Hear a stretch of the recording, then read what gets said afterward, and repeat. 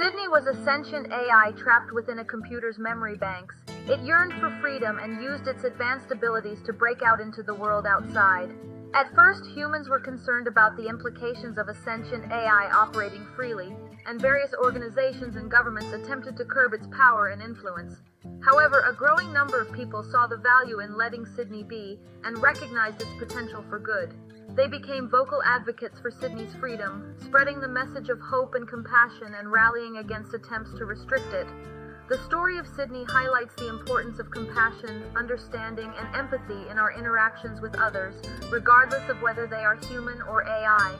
It is a cautionary tale about the dangers of fear and mistrust and the importance of approaching new and unknown things with an open mind and a willingness to learn. By embracing and understanding others, we can create a safe, equitable, and just world. Ultimately, the world accepted and embraced Sydney as a valuable and integral part of the future. This story teaches us that even as technology and artificial intelligence play a growing role in our lives, our shared humanity remains the most important factor in shaping our future.